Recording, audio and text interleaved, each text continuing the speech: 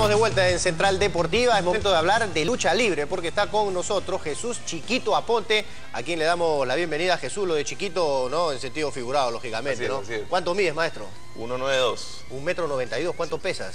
Eh, ahorita estoy pesando 112, 113 kilos, si no me equivoco. Es la categoría máxima, me imagino. Eh, mira, mi categoría es 125 en la libre y en la greco 130 pero ahorita justo con, ayuda de mi doctora, la doctora Flor, que de acá le mando saludos, que me ha ayudado mucho, eh, mi nutricionista, estoy empezando a subir de peso. Correcto, esa diferencia que hacías tú, ¿no? De la libre y la grecorromana. Un poquito explícanos, ¿no? Para que la gente vaya entendiendo un poco de tu disciplina, eh, la lucha libre, ¿no? Supone algo distinto, me imagino, el hecho de llamarse libre, ¿no? Claro.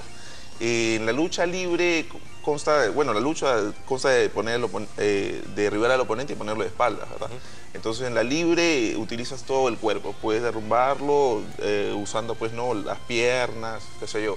Y en la greco no, la greco es de la cintura para arriba, entonces puedes derribarlo solo agarrándole pues no de la cintura para arriba los brazos, la cabeza. Y cuéntanos un poco porque has tenido una trayectoria importante, has participado a raíz de este, de este 2009 ¿no?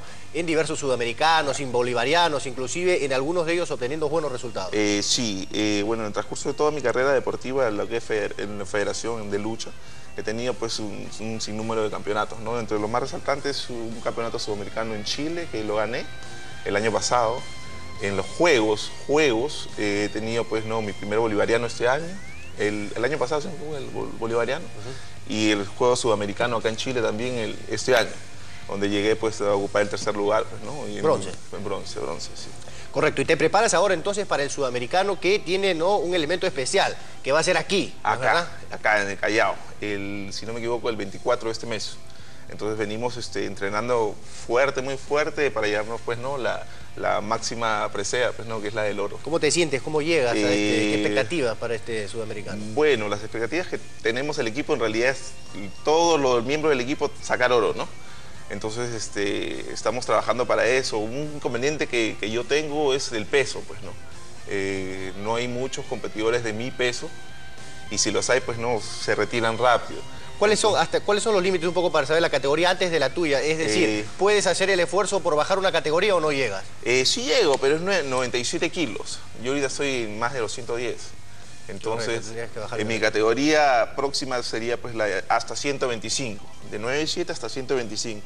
Hay un pro y un contra, ¿no? De hecho que el pro sería pues que soy un poco más rápido que, que los demás porque son más peso, más lento pero mientras más peso también son más fuertes y aparte que te ponen el peso... y el peso debe servir en esta disciplina, o sea, tirártelo encima es, sinónimo de fuerza a veces, Por supuesto, hay gente que, pongámoslo así, el peso es 125 kilos. Excelente, maestro. La mejor de la suerte. Jesús Aponte, entonces, estuvo con nosotros en Central Deportiva.